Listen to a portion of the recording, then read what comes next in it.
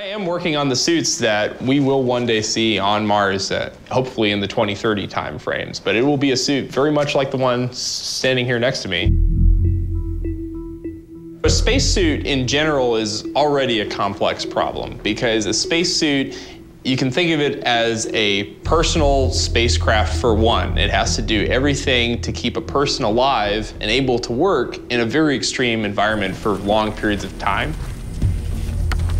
Mars specifically also poses some unique problems. We have to think about how our materials are going to hold up to the radiation environment on Mars for long periods of time. We're used to, with the astronauts in the International Space Station, being close and being able to talk to mission control whenever they have an issue. But for Mars, with the time delay in communications, the astronauts have to be able to do things themselves and they have to be self sufficient when they're using the suit. So there's a lot of focus on making sure that they can use the spacesuits without a lot of assistance or a lot of help from flight controllers on the ground.